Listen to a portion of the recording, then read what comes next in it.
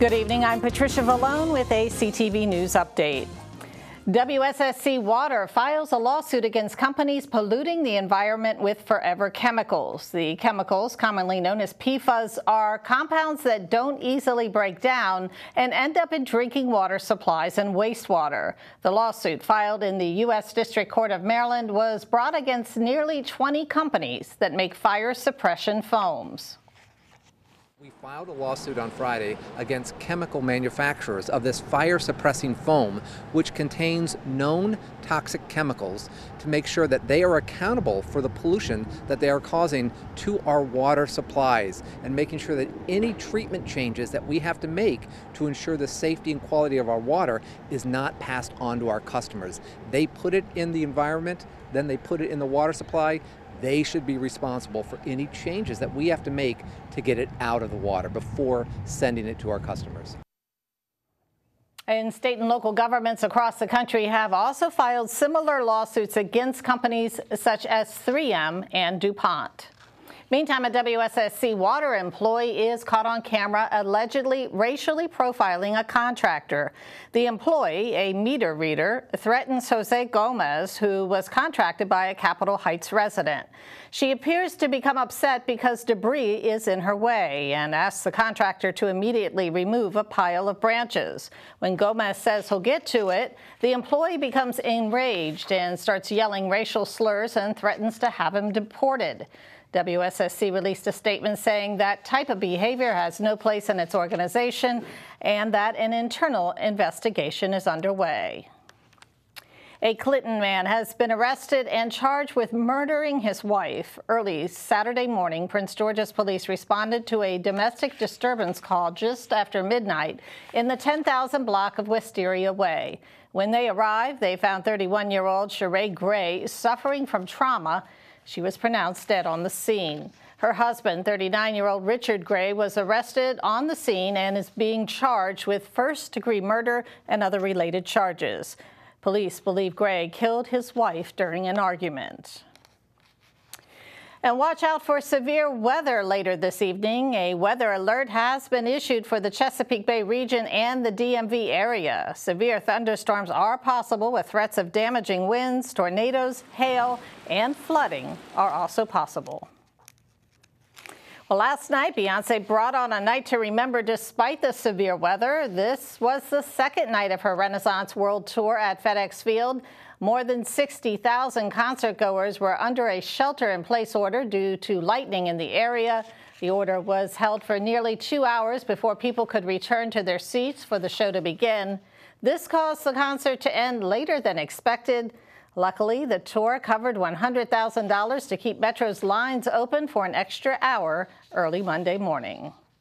And you're watching CTV News. I'm Patricia Vallone. Coming up, we are back with another segment of Grow With Us. CTV's Byron Scott will have the details ahead. Stay with us.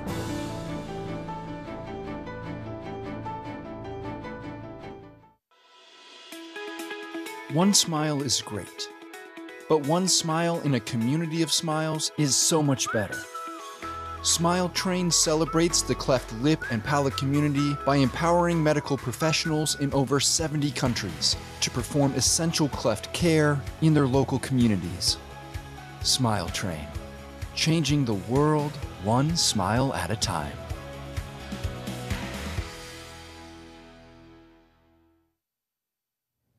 Welcome back. A county teenager faces charges following a shooting in Glendale over the weekend. The suspect is a 17-year-old boy from Mount Rainier.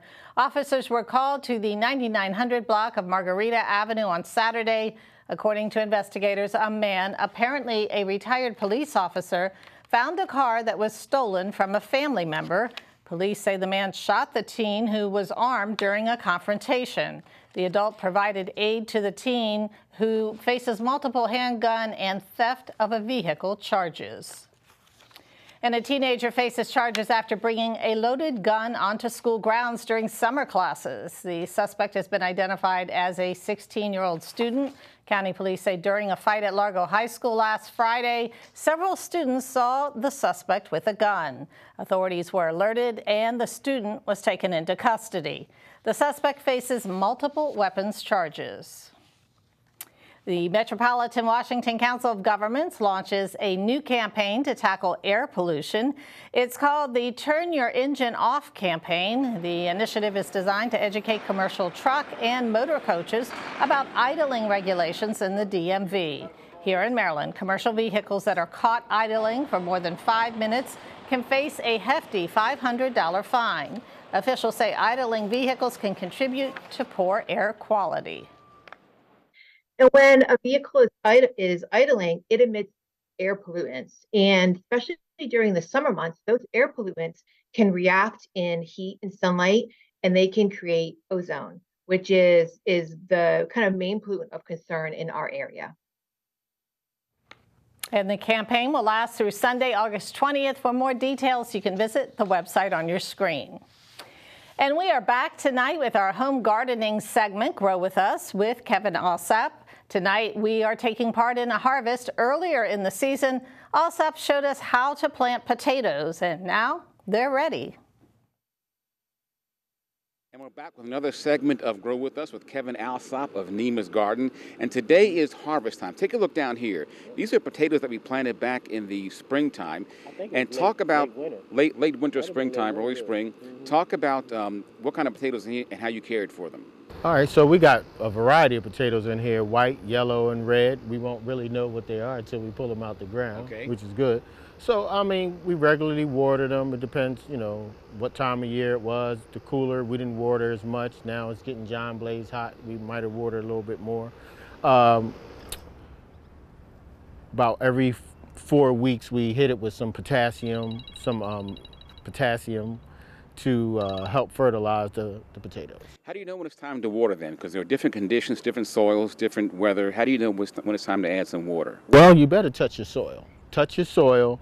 If your soil is dry down to maybe uh, an inch or something, then you know you definitely need to water. You want to water it low at the root zone. You see, you have can. Just imagine if this was all up in a canopy like this. You want to keep your nozzle low so the water goes directly into the soil.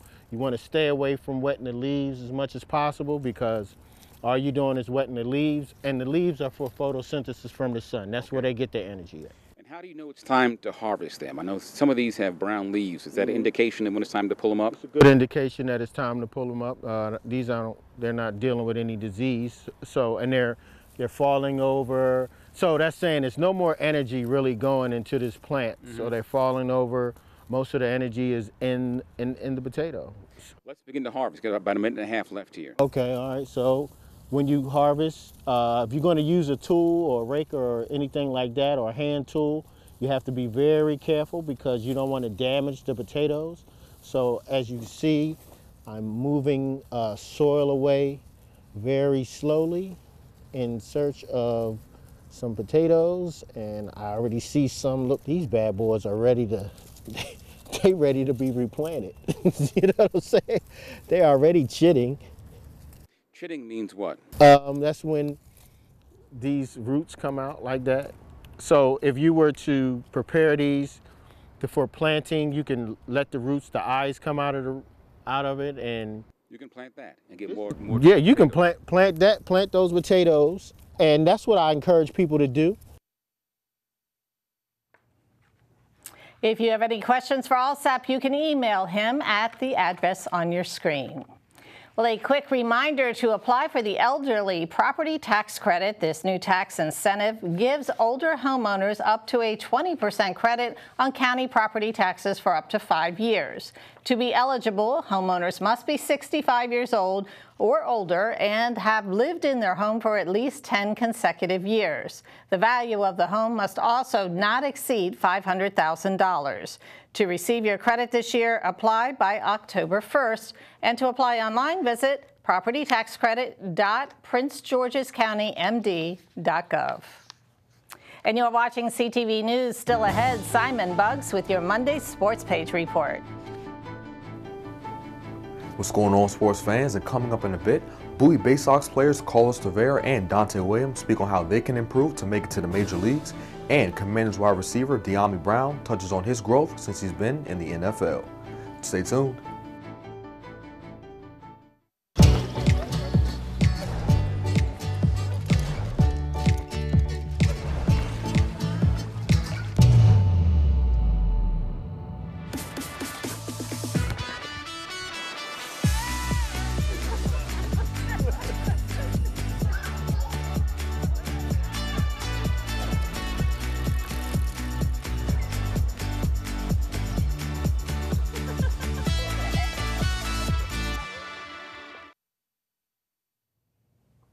Thanks for staying with us. Well, a Clinton man is dead following a Sunday morning car crash.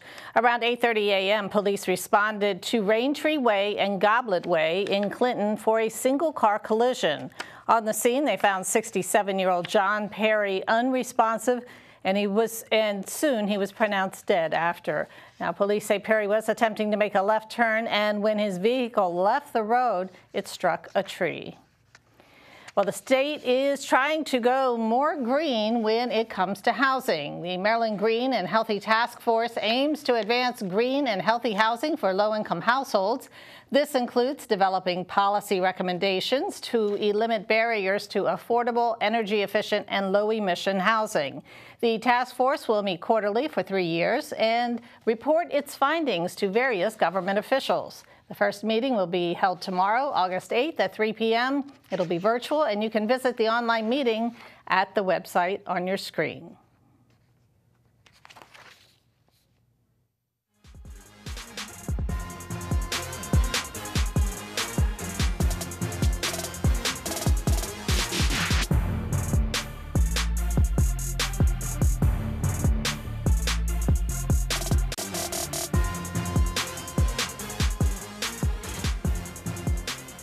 Okay, everybody, it's time for your Monday sports page. We'll start with some minor league baseball.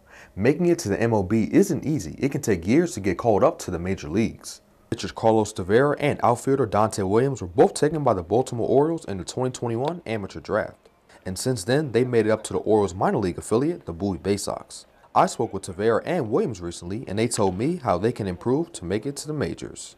Consistency, just being consistent, uh, playing defense how I played, and just uh, not not being an easy out. Just every time I step in the box, just uh, it's me and the pitcher in the box. So uh, doing whatever I can to get on base, whatever I can to help the, the team win, quality ABs, whatever aspect that is, just being the best version of myself. So um, whatever that whatever that is, uh, just giving that 100% and doing that every single day.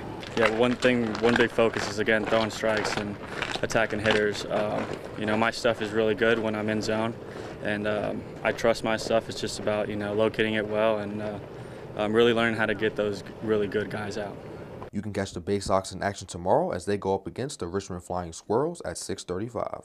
Moving on to the Washington Commanders, wide receiver Dyami Brown is going into his third year in the league. And despite not being in the league that long, the University of North Carolina product says he's grown a lot since being drafted. I definitely did like a whole lot of self-reflection. Uh, had to uh, figure out some things that I had to do. You know what I'm saying? Just put really point a finger at myself. You know, the things that I didn't do, things that I can work on. You know, and, and I had some help from some other guys. You know, just to build build me up. You know, because they've been in the league for a couple years. So you know, it's always good to get the experience from them. For a guy like Terry. Uh, I had Fitzpatrick for a little bit, you know, learned a little bit from him. Then you got uh, Heinicke, Carson Wentz, and all those other guys. You know, Logan Logan Thomas. You know, you got guys that you can learn from. They've been in the league for five plus years, mm-hmm. and you know, I think they pretty much just helped me, and they they helped me see the business side as well.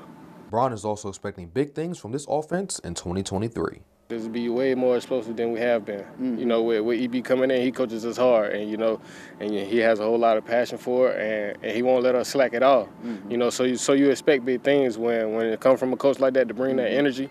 You know, it just pushes us to be even more better. The Commanders will play their first preseason game against the Cleveland Browns on Friday. And that is your Monday sports page. Simon Bugs, CTV Sports. And that wraps up our CTV News Update. Join us again tomorrow at 4.30. Have a great night.